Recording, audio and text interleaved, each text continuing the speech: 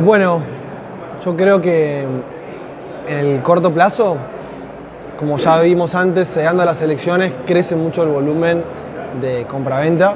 Eh, de hecho, nosotros tuvimos picos históricos eh, con más de tres compras por segundo llegando a las elecciones y creo que probablemente es un escenario que se repita eh, este domingo. Ahora, pasando a las elecciones, creo que tenemos menos previsibilidad de lo que puede pasar. Los, las dos propuestas son muy distintas y creo que cripto puede cumplir un rol muy distinto en, cada uno de los escenarios, por lo de, de lo que hacemos hasta ahora. Sí, nosotros igualmente desde Lemon, desde la cámara FinTech y con el grupo que integramos con todos los exchanges, lo que tenemos certeza es que vamos a seguir defendiendo al usuario, trabajando en fomentar la industria y protegiendo ante todo. Eso pase lo que pase. Y el resto hay un poco de imprevisibilidad. Si querés podemos charlar de los escenarios, por lo menos que estoy viendo, pero no tenemos ciencia cierta de lo que puede pasar con cripto. Puntualmente del proyecto digital, creo que se tendría que trabajar con expertos de la industria porque es una tecnología que si usarla mal nos puede jugar muy en contra a toda la sociedad.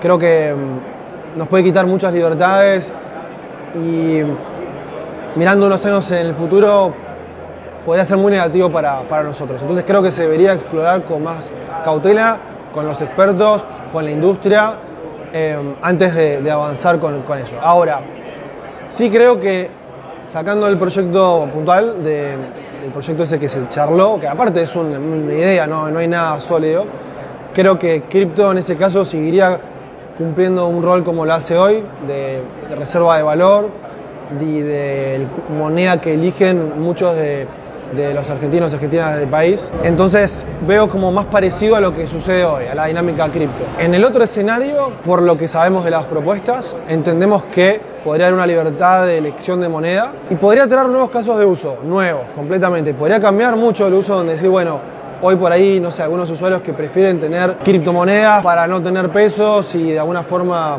eh, combatir la inflación. Creo que en este escenario podría ocurrir algo nuevo, que es que se use como crédito. Hoy el mercado inmobiliario, el mercado hipotecario en Argentina es mínimo, casi que no existe. Poder acceder a una vivienda y más aún poder colocarla como en un mercado hipotecario es algo que no es una opción para la mayoría, a diferencia del resto de los países.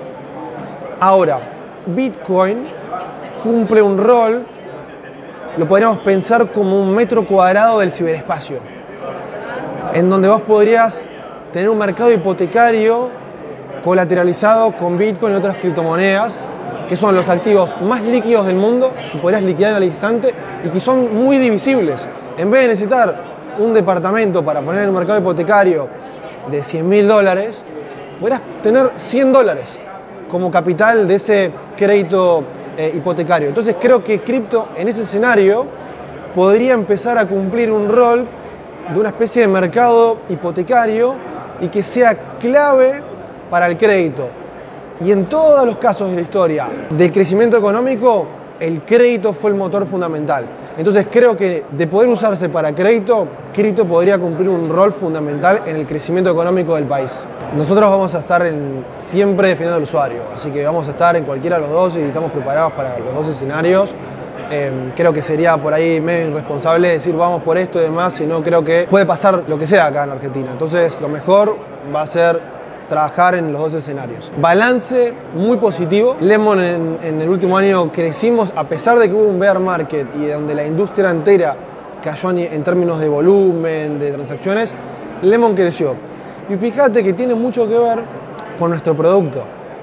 Hoy nuestro producto no se trata de especulación, de trading, viste como algunas otras plataformas que fueron más, eh, estuvieron más en crecimiento y fueron más protagonistas del bull market pasado sino que se trata del día a día, de los usos. Fíjate que tenemos la tarjeta, más de 900.000 tarjetas emitidas, donde más del 20% de los usuarios que compra usa criptomonedas para comprar.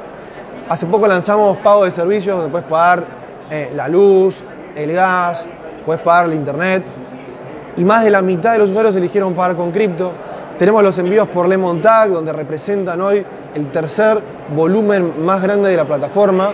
Entonces creo que logramos construir un producto que trasciende la especulación y trasciende la volatilidad del mercado y nos da una ventaja muy grande para poder desplegar esos productos en toda América Latina. Entonces, este año nos sirvió muchísimo para consolidar nuestro producto como cripto propuesta de valor en el día a día de las personas, de los ciudadanos comunes. Y el año que viene va a ser cómo lo desplegamos en toda la región.